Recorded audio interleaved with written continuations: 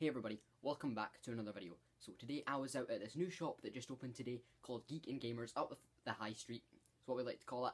And the grand opening was today. So me, my brother and my mum went up there and we spent a few hours there and I bought a bunch of stuff which is what I'm going to be showing you in today's video. So as you walk in, the staff greet you with a goodie bag. So I'm just going to show off what the goodie bag has. It has Gellert Grindelwald.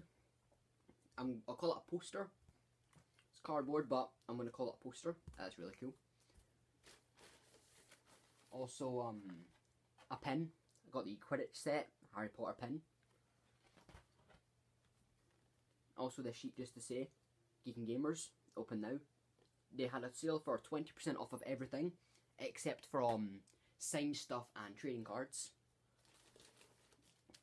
Christmas card. I haven't actually looked inside the Christmas card yet, but it's a pretty cool Christmas card.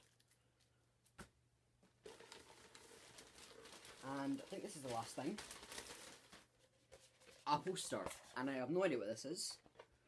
Apparently it's a Halloween poster. It's upside down. Yeah, it's upside down. So this is the poster. As you can see, it is signed. So that's pretty cool. And that rounds off the goodie bag.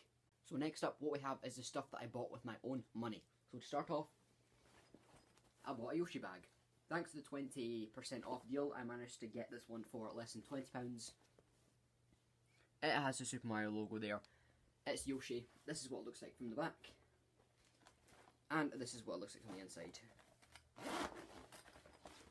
That's just the inside there. There you go. Next up. Of course, had to get myself a Leafeon plushie. The fourth evolution that I own, I own Vaporeon, Jolteon and Flareon, which are down next to my bed. So of course I had to get Leafeon. And then we have the Skull Kid Majora's Mask 3D collectible figure, which is really cool. This one was a bit expensive, but it's Skull Kid, I mean, it looks really cool. Thanks to 20% deal, managed to get this one for about 25, 26 pounds.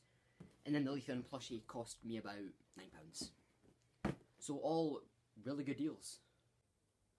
And to round it off, we have uh, this Geek Gear box that I got for there. It's a mystery box this was £15, but thanks to the deal I managed to get it for 12 So we're just going to see.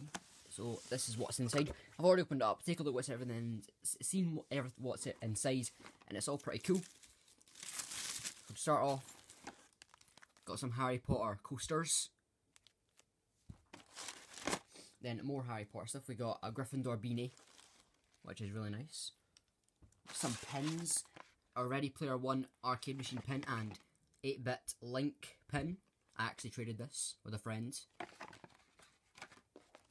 The Space Medal of Bravery, which I have not opened, but it looks very nice. Smite.